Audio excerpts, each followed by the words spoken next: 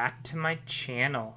Like always, I'm How To Tech Tips, and I hope you enjoy my videos, and of course, don't forget to subscribe, like, comment, and share any of my videos.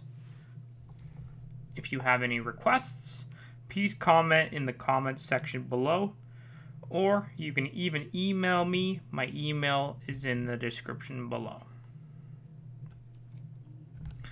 Let's just say that you bought a Logitech wireless mouse and keyboard combo. And on the box, obviously, it would say, you know, Bluetooth compatible, but for whatever reason, your Bluetooth is just not, you know, connecting to your computer, or it's showing on your computer that it's there, but it's just having a hard time connecting. It has happened to me actually a few times, and it can get very frustrating and annoying. But this is actually a pretty simple fix. So there's two things that you will actually have to do. So the first thing is in the box there is a little USB tab tab I don't it's not really a USB tab it's just like a USB you would plug it into your computer just like a little receiver. And right now I'll show you guys a picture of it. And basically that would just let the keyboard and mouse communicate to that receiver which would end up being able to connect to your computer but in order to do that we're gonna have to download something so let's open a, a, browser up. Okay, so we would open up the browser of our choice. I'm just going to pick Microsoft Edge for now. And then from here, we will go to google.ca. And from here, we're going to go Logitech Options.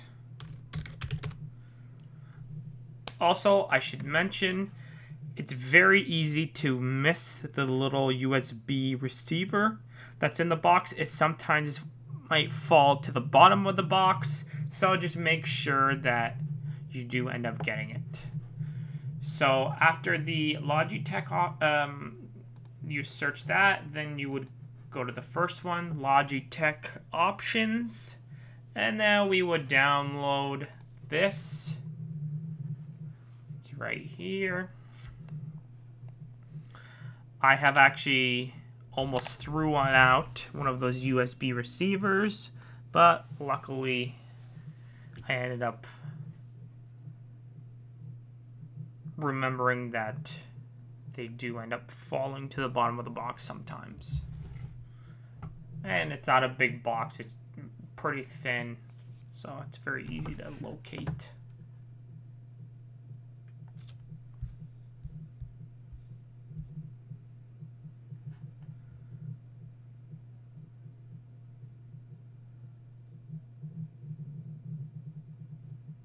All right. So we're going to open it now.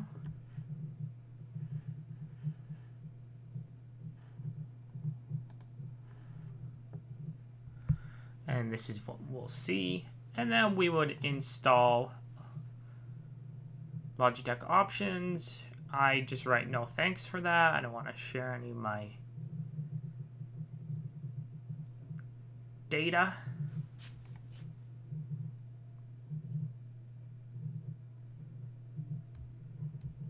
And now we would just wait. And while we're waiting, I just wanted to remind you guys to check out any of my other videos and as well as if you guys have any requests, please let me know. I'm pretty open on trying any kind of troubleshooting or any cool tech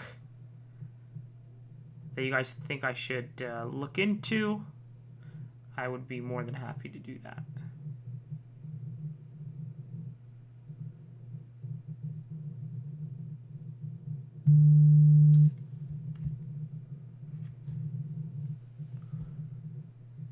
Okay.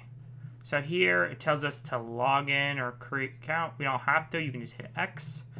And then here this is what you'll see is that you can't detect any devices. So we would add a, let's go back. Let's add a device. And then here you would see that it was unifying receiver. And you would hit add. And then from there, it would tell you to turn off the mouse and then turn it back on. There are just instructions there you'll see. Tell you to turn it off, turn it on, and then it'll hook up to the mouse. And then you'll have to do the same thing. You would have to add another. So the add device will be down here. You would hit add device. Mine's up here though. And then you would do the same thing, add device, and then you would turn off the keyboard and turn it back on, and it should all connect back. Like it, all of this should connect.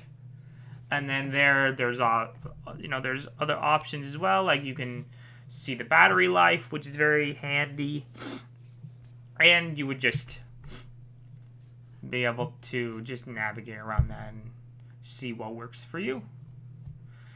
All right, if you guys have any questions, then comment below. But for now, thanks for watching. I'm How To Tech Tips. Keep teching on.